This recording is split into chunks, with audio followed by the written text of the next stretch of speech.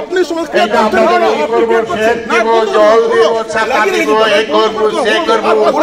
আরে মান লেবার মান হিয়া উন্নয়ন করে দিচ্ছে সেগুলো তৃণমূলের বিক্ষোভ ধর্ণা ঘিরে ফের উত্তেজনা কুমারগ্রাম বিধায়কের বাড়ির সামনে।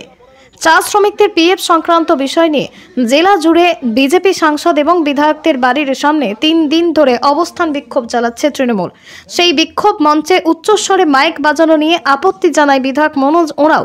সেই সময় প্রধানমন্ত্রীর মন কি বাত অনুষ্ঠান শোনার জন্য প্রচুর মানুষ জমায়েত হয়েছিল বিধায়কের বাড়িতে। তারা মন কি বাত শোনার জন্য মাইক লাগায়। তারপর কুমারগ্রাম থানার আইসি সেই মাইক বন্ধ করার নির্দেশ দেন কিন্তু বিধায়কের দাবি ছিল আগে তৃণমূলের মঞ্চের মাইক বন্ধ করতে হবে এই নিয়ে তর্কে জড়িয়ে পড়েন আইসি এবং বিধায়ক তারপর বিধায়ক আইসিকে এক ঘণ্টা সময় দেন তৃণমূল মঞ্চের মাইক বন্ধ করার জন্য না হলে তারা ব্যবস্থা নেবে যদিও মাইক বন্ধ করার দাবি নস্বাত করে আগামী দিনে বিধায়কের বাড়ির উঠোনে বিক্ষোভ প্রদর্শন করব বলে জানান তৃণমূল নেতৃত্ব এমএলএ বলছে, বলছে আপনি। কথা এটা দেখাই লাগি শুনুন, আচ্ছা, এ কি উন্নয়ন হচ্ছে না ভালো করে বলছেন। এটা চোখে পড়ছে না হ্যাঁ, তাহলে তো তা যাচ্ছেন না। আপনারা তো সে করবো আরে ছওয়া মান লেগে লেবার মান হিয়া যাচ্ছে ও ছওয়া মান के लेबर छवा मान लगे तो शेडे नहीं कर लगे আমি করে দিতে পারবো कोई तो सात लाख टका पास नहीं सात लाख रुपया पावर ले भाई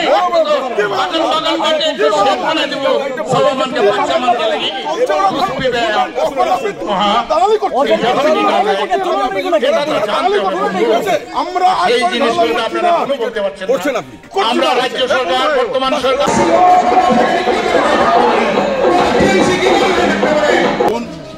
রাজনীতি হবে দেলুয়া হয় দেউলিয়া হয়ে গেলে যা হয়। এখন তৃণমূলের ক্ষমতা নেই।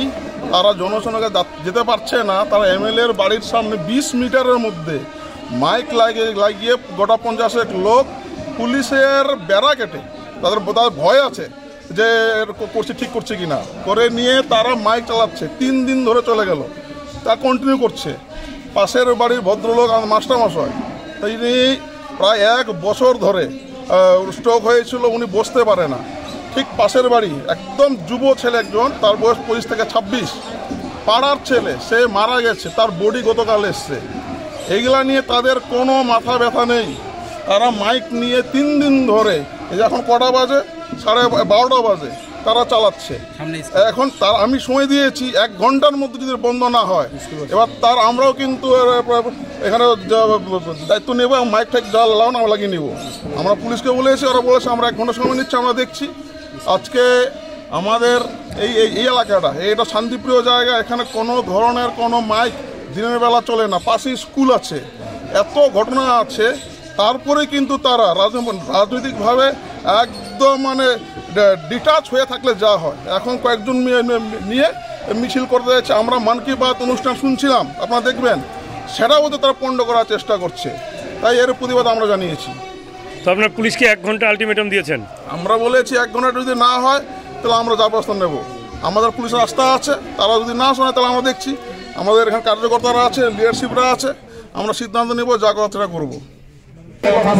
আমরা আপনার যে ভূমিকা দেখেছেন সেই দেখেছেন আঠারো ইলেকশনের পরে উনিশ ইলেকশনের পরে কাশ্মীরি ড্রাই ফ্রুটস আলিপুরদুয়ার। এখানে পাবেন সমস্ত ড্রাই ফ্রুটস, হোলসেল এবং রিটেলে। পাচ্ছেন নাটস ডেটস সিডস বেরিস পিচ পাউন মার্কেট ও অনলাইন থেকে কম প্রাইসে পাবেন। আমাদের ঠিকানা আলিপুরদুয়ার থানা মোড়। Mobile number seven zero five one three zero eight two seven eight আমাদের কোনো শাখা নেই।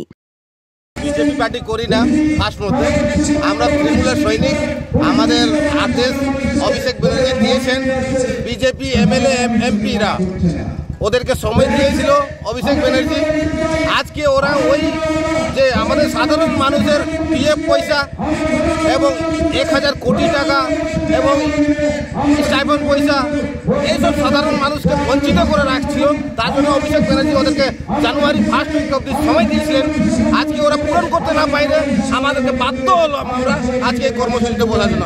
আর বিধায়ককে আমি প্রশ্ন করতে চাই উনি কি মুখে বলতে চান কি মাইক ক্যামেরা শোনার কি লজ্জা লাগছে তো না কাছে?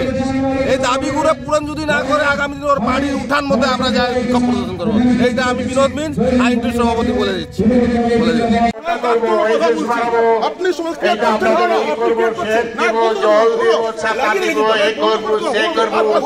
আরে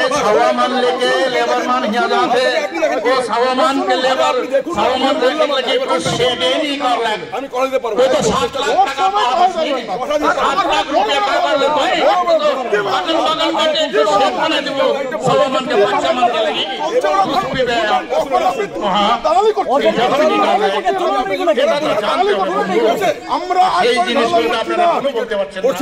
আমরা রাজ্য সরকার বর্তমান সরকার আপনার ব্যক্তিগত আমরা আক্রমণ করব।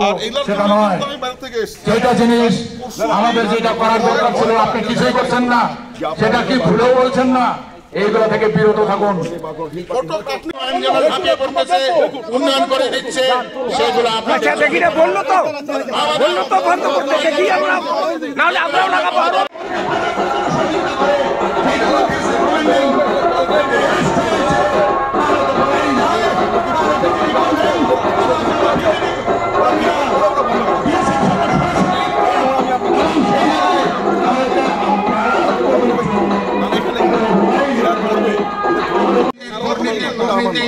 আরে দুর্নীতি কোথায়?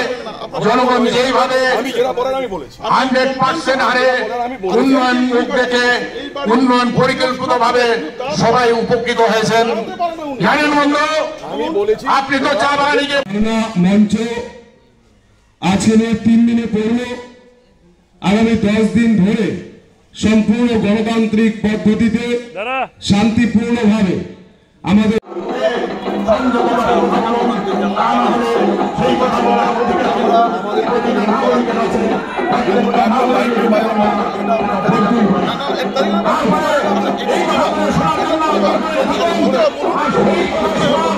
আপনাদের